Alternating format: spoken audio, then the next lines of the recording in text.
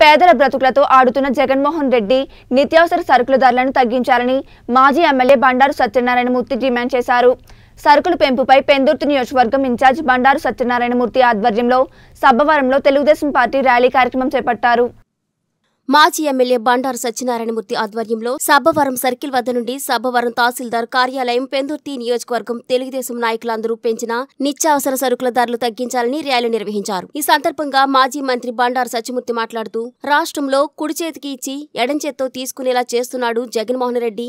రాష్ట్రాన్ని అంధకారంలోకి దించేశాడని తెలుగుదేశం ప్రభుత్వంలో gas petrol ఎంత ఉన్నాయో అందరికీ తెలుసని ఇప్పుడు జగన్ వచ్చాక అతని సొంత వ్యాపారాలు చేసుకుని లబ్ధి పొందుతున్నారని పేద ప్రజల మీద అభిమానం ఉంటే భారతీయ సిమెంట్ మీద ఇసుక మీద మద్యం మీద రేటు తగ్గించాలని అన్నారు. మాజీ ముఖ్యమంత్రులు తిప్పు నారా చంద్రబాబు నాయుడు మేరకు అలాగే మన పెందుర్తి ఇన్ఛార్జ్ బండారు సత్యనారాయణమూర్తి గారి మేరకు అలాగే అనకాపల్లి పార్లమెంట్ కొత్త నాగ జగదీశ్ గారి మేరకు అలాగే ముఖ్యంగా బంగారు అప్పలనాయుడు గారు రాష్ట్ర కార్యదర్శి ఆదేశాల మేరకు ఈరోజు సభవరంలో నిత్యావసర సరుకుల మేరకు పోరాటానికి ధర్నా కార్యక్రమానికి ఇచ్చేసిన కార్యకర్తలకు మహిళలకు పత్రికా విలేకరులకు ఎలక్ట్రానిక్ మీడియాకు అందరికీ నా ధన్యవాదాలు తెలుపుకుంటూ ఈరోజు జగన్మోహన్ రెడ్డి పేదవాళ్ళని పీడించడానికి పెట్రోలు కాయగూరల ధరలు నిత్యావసర ధరలు అన్ని పెంచి పేదవాళ్ళని పీడించి పేదవాళ్ళకి అన్యాయం చేసినందుకు మీరందరూ దీన్ని ఖండిస్తున్నాం. అలాగే సినిమా టికెట్ల రేటు తగ్గించినప్పుడు ఈ నిత్యావసర సరుకుల ధరలు ఎందుకు తగ్గించడం అడుగుతున్నాను. ఇంట్లో కూర్చొని ఏసీలో కూర్చున్న పెద్ద సీఎం జగన్మోహన్ రెడ్డికి ఏం తెలుసు? పేదవాళ్ళని మా నియోజకవర్గ పార్లమెంట్ నియోజకవర్గ తెలుగు యువత తరపున నేను ప్రశ్నిస్తున్నాను. అలాగే ఈరోజు మళ్ళీ చంద్రబాబు నాయుడు సీఎం చేసి ఇక్కడ బంగారు సత్యనారాయణమూర్తి గారిని సీఎం ఎమ్మెల్యే చేసేంత వరకు మా పార్లమెంట్ తెలుగు యువత తరపున అందరూ కృషి చేస్తామని అలాగే పెద్దలు ఏడు పార్లమెంట్ ఇన్ఛార్జ్ వారికి సపోర్ట్గా చేసి యువత మళ్ళీ చంద్రబాబు నాయుడు సీఎం చేసి అసెంబ్లీలో కూర్చోబెడతామని తెలియపరుస్తూ ఈ అవకాశం ఇచ్చిన పెద్దలందరికీ ధన్యవాదాలు తెలుపుకుంటూ సెలవు తీసుకుంటున్నాను. రెడ్డి గారిని సూటిగా ఒకే ఒక ప్రశ్న వేస్తున్నాను. నిన్న మొన్న మీ మంత్రులు మీ ఎమ్మెల్యేలు పేదవాడికి అందుబాటులో ఉండడం కోసం సినిమా దగ్గర తగ్గించామని చెప్పుకుంటున్నారు మంచిదే. సినిమా టికెట్ తగ్గించాం. కానీ పేదవాడికే నిత్యం అవసరమైన సినిమా టికెట్ కాదు జగన్ గారు. పేదవాడికి నిత్యం అవసరమైంది కందిపప్పు పెసరపప్పు మినపప్పు గ్యాస్ కిరోసిన్ పామాయిలు కంది బెల్లం ఇవి కావాలి. ఇవెందుకు తగ్గించలేవు నువ్వు? అంటే నీ దోపిడీకి అడ్డు వస్తుందనా? నేను సింపుల్గా అడుగుతున్నాను. ఈ భారతీయ సినిమాకి ఎందుకు తగ్గించలేదు? సినిమా టికెట్ సినిమా నిర్మాతలు నిర్ణయించుకునే హక్కు లేదు కానీ సిమెంట్ మీద ధరలు మాత్రం నీకు హక్కు అంటే నీ ఇష్టసారంగా ధరలు పెంచుకుంటావు. ఓకే. నువ్వు ఇసుకంతా జయప్రకాష్ అసోసియేషన్కి ఇచ్చావు. ఇసుక ధరలు ఎందుకు నియంత్రించలేదు? ఇసుకలో వచ్చిందేమో నీకు వచ్చిందేమో పన్నెండు వందల కోట్లు. తిరిగి ప్రభుత్వమే ఆ జయప్రకాష్ అసోసియేట్కి రెండు వేల రూపాయలు తిరిగి కడుతుంది. జగనన్న కాలనీ కోసం ఇసుక తీసుకున్నది అదే డబ్బు నీకు వస్తుందా? నీ కుటుంబానికి వస్తుందా? మధ్య ఉంది. ఎందుకు మధ్యలో తయారు చేస్తున్నావు? అనేకమైన కంపెనీలు ఉన్నాయి. తెలంగాణలో పక్కనే కదా నీ తమ్- తమ్ముడే కదా మీ అన్న కదా కేసీఆర్. తెలంగాణలో బ్రాందీలు ఏమిటి? ఆంధ్రాలో బ్రాందీలు ఏమిటి? నిన్నెవరు చెప్పాలి బ్రాంచీలు తయారు చేయమని? నిన్నెవరు చెప్పాలి ధర నిర్ణయించమని మనం ఎందుకు మందు ధర కొద్దిగా తగ్గించావు ఈ సినిమా వాళ్ళని దెబ్బకొట్టడం కోసం. సినిమా వాళ్ళు ఇద్దరు సామాజిక వర్గానికి చెందిన వాళ్ళు ఎక్కువ ఉన్నారని. అదే మీ సామాజిక వర్గం లేదని. ఖర్చుతో తగ్గిస్తూ అందుకు బ్రాంతి తగ్గించావు మరి బ్రాంతి తగ్గించిన వాడి కొద్దిగా తగ్గించావే మరి చిమ్మెడని తగ్గించలేదు? ఇసుకని తగ్గించలేదు? నిత్యావసరకు ఎందుకు తగ్గించలేదు? అంటే ఈ జగన్మోహన్ రెడ్డి కపడ నాటకం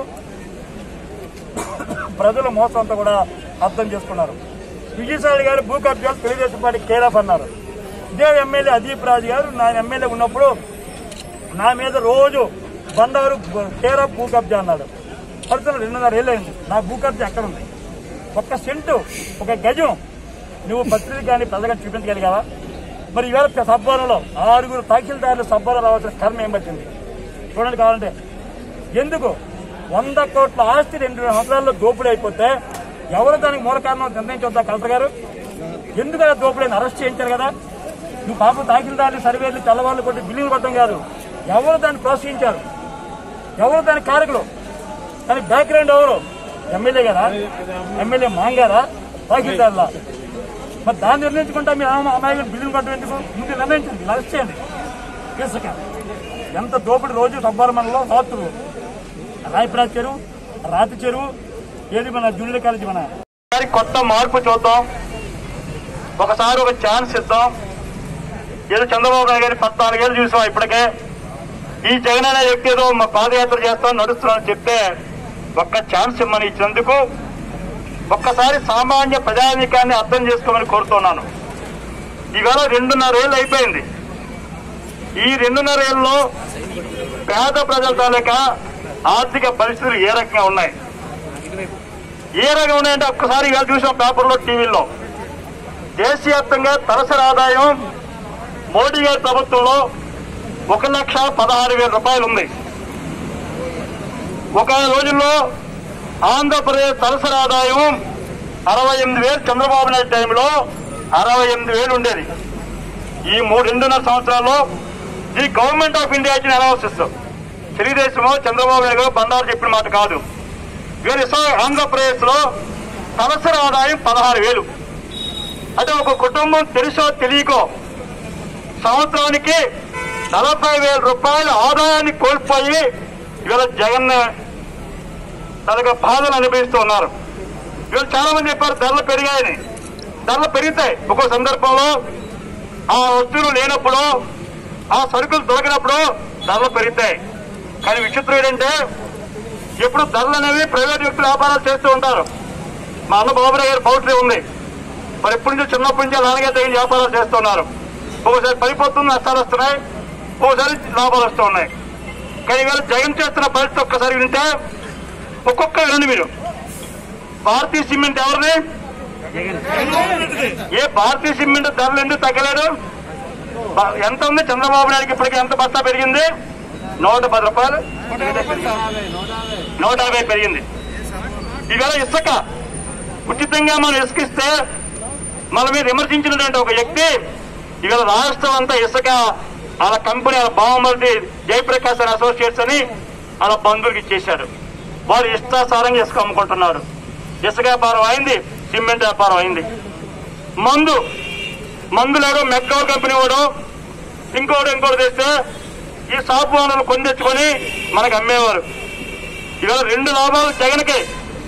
జగన్ని పుణ్యమెట్టి చెప్పానండి వైకాపా నాయకులు పుణ్యమిచ్చి చెప్పానండి మందు ఎవరు తయారు చేస్తున్నారు ఇక తెలిసిన ఎవరు తయారు చేస్తున్నారు ఈ మందు తయారు చేసేది జగన్మోహన్ పక్కన సజ్జల ఆ సజ్జల బావమరిది మందుల కంపెనీలు. రెండు జగన్మోహన్ రెడ్డి మేనమా ఉన్నారు. కళలో మన జిల్లా అదే పార్లమెంట్ ఇన్ఛార్జి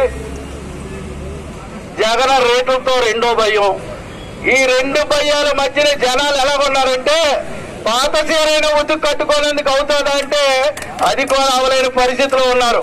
ఎందుకంటే ఈ కరోనాకు భయం పడి చీరలు కూడా మార్చుకోనందుకు పరిస్థితి లేనిది. జగన్ ప్రభుత్వం వచ్చిన కాడి నుంచి అందరినీ జల్లిడి పెడుతున్నది ఈ కరోనా.